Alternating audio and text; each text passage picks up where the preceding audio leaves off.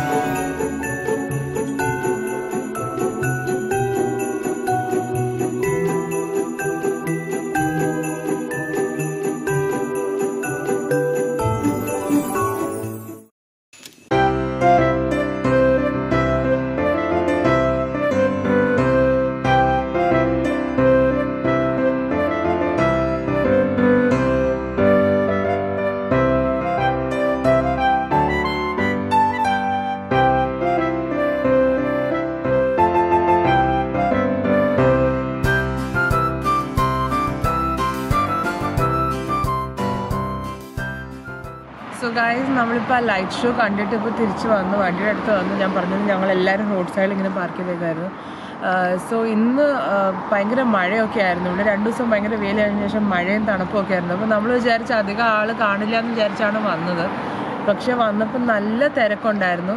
ഞാൻ പറഞ്ഞ പോലെ അവരുടെ വീടിന്റെ ബാക്കിലുള്ളൊരു സ്ഥലമാണ്. അപ്പോൾ അത് ഒത്തിരി വിശാലമായിട്ടൊരു സ്ഥലമല്ല. പക്ഷേ അതും വരെ നിറഞ്ഞിരുന്ന ആൾക്കാർ ഇഷ്ടംപോലെ കൊച്ചു പിള്ളേരും ഒക്കെ ആയിട്ട് അങ്ങനെ ഒരുപാട് ആൾക്കാരുണ്ടായിരുന്നു.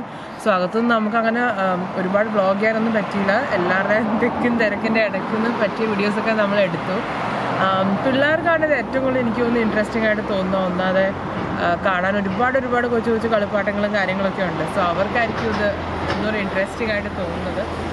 ബട്ട് എനിവേ നിങ്ങൾ ഈ ഭാഗത്തുണ്ടെങ്കിൽ ഡെഫിനറ്റ്ലി ഈ ലൈവ് ഷോ ഒന്ന് ചെക്കൗട്ട് ചെയ്യുക. ഈ മാസം എന്തായാലും ഇതിവിടെ ഉണ്ട്.